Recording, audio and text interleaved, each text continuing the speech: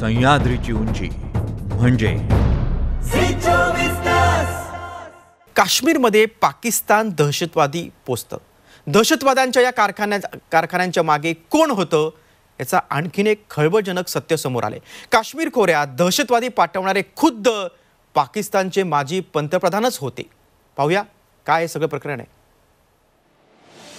काश्मीरमध्ये दहशतवादासाठी लादेन आणि शरीफांचं फंडिंग.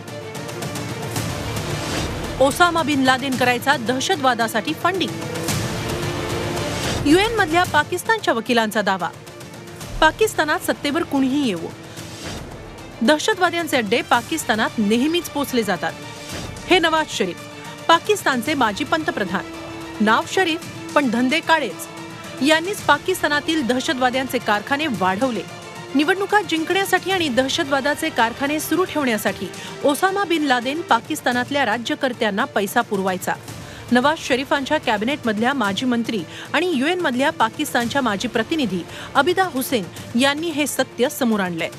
लादेनकडून पैसा घेऊन नवाज शरीफ दहशतवाद्यांना पोसायचे आणि दहशतवाद्यांना काश्मीरमध्ये कारवायांसाठी धाडायचे.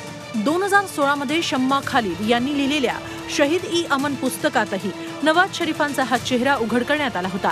नवाज शरीफांनी लादेनकडून पैसे घेऊन बेनझीर भुत्तो सरकार पाडलं होतं. त्यासाठी लादेनकडून एक हजार कोटी डॉलर घेतल्याची चर्चा होती.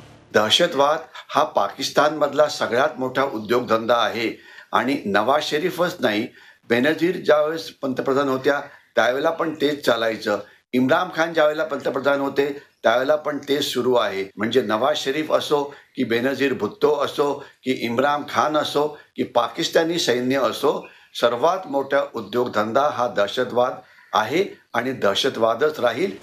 पाकिस्तानातल्या एबोटाबादमध्ये लादेनचा खात्मा अमेरिकेनं केला. तोपर्यंत छे लादेन आमच्या देशात नाहीच असाच कांगावा पाकिस्तान करत होतं. अमेरिकेच्या ऑपरेशन ब्लॅक टॉर्नेडोनं लादेनच्या चिंधड्या उडवल्या तेव्हा पाकिस्तानचा बुरखा फाटला. Bureau report Zee media Mumbai. Vithu माऊलीचा गजर. म्हणजे?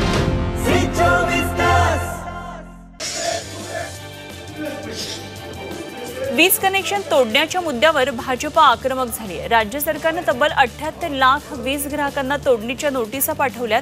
वीज मुद्द्यावर भाजपनं पाच फेब्रुवारीला राज्यव्यापी आंदोलनाची हाक दिली आहे. राज्यातील प्रत्येक तालुक्यातलं महावितरण कार्यालयाबाहेर आंदोलन करण्याचा निर्णय घेण्यात आला आहे.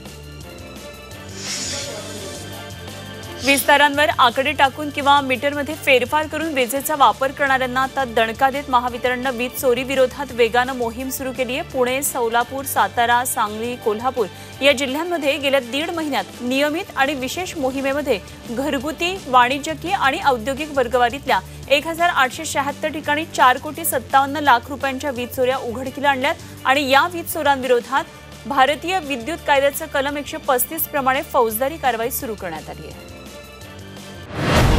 ताडोबातल्या वाघिणीची चाल म्हणजे